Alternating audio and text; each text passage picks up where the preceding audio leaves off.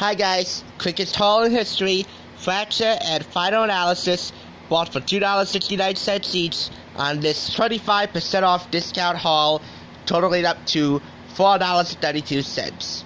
Thanks for watching.